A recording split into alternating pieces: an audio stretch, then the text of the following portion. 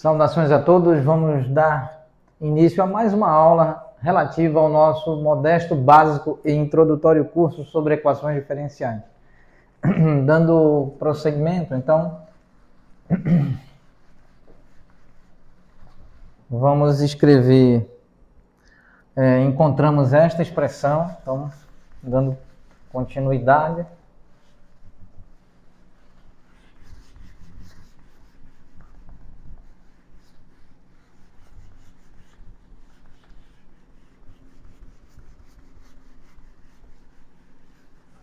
Muito bem, então nós temos logaritmo natural, aqui cujo argumento é módulo de t elevado a 1 dividido por 4 dividido por módulo de d igual a C3.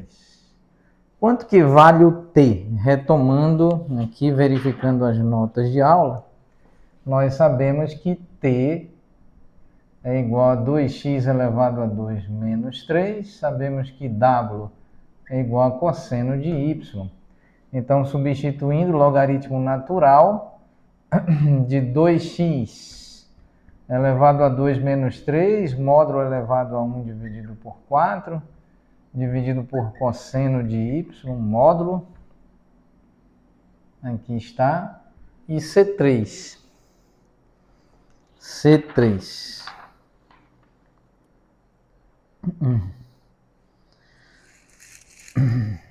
Então, C3. Esse C3 pode ser expresso como logaritmo natural, uh, logaritmo natural do módulo de C4, pois esta constante pode ser reexpressa como logaritmo natural do módulo de C4, onde C4 é outra constante numérica, obviamente. Então, dois dois logaritmos são iguais quando seus argumentos e sua, suas bases são iguais. Obviamente, logaritmo natural é logaritmo na base do número de Euler. Aqui, logaritmo natural de x é logaritmo de x na base do número de Euler. É, e nós sabemos que o número de Euler é aproximadamente 2,71 mais infinitos números. Muito bem. Então, nesse caso, nós temos módulo de 2x elevado a 2 menos 3, esse módulo elevado a 1 dividido por 4, dividido por cosseno de y, aqui módulo, igual a módulo de C4. Muito bem, como vamos escrever?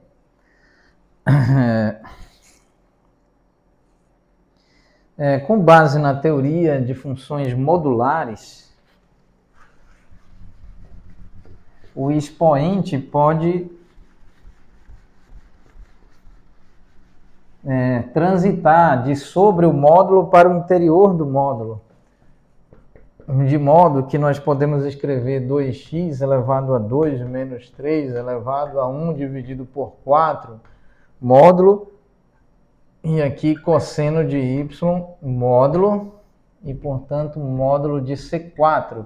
Então, módulo da divisão de duas funções, é, módulo da divisão de duas funções é igual o módulo da primeira função dividido pelo módulo da segunda função, a qual está no denominador. Então, aqui nós podemos escrever 2x elevado a 2 menos 3 elevado a expoente 1 dividido por 4 dividido por cosseno de y todo esse termo dentro do módulo, aqui C4 dentro do módulo, essas funções são iguais, essas funções modulares, significa que 2x elevado a 2 menos 3 elevado a 1 dividido por 4 dividido por cosseno de y, isso é igual a C4, constante numérica.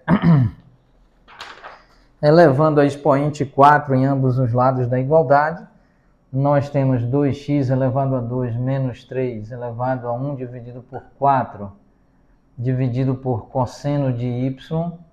Aqui vamos então elevar a expoente 4, elevar a expoente 4 em ambos os lados da igualdade, igual a C4 elevado a expoente 4. Esse expoente par garante que todo número negativo tornar-se-á número positivo. Então,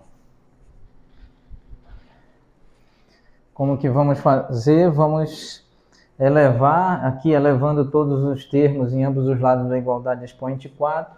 Então vamos fazer o tratamento aqui e é, daremos continuidade durante a próxima aula. Muito obrigado a todos.